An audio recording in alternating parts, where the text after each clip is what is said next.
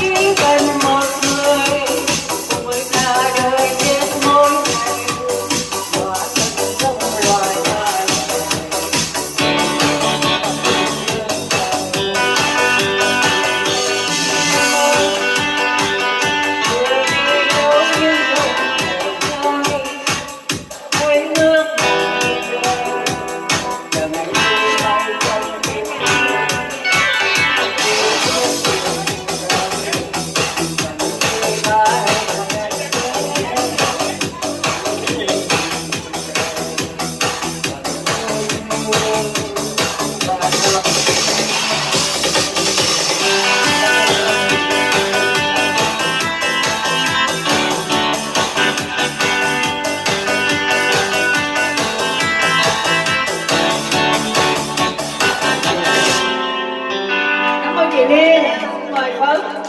Sau phấn sẽ là chị mỹ tài.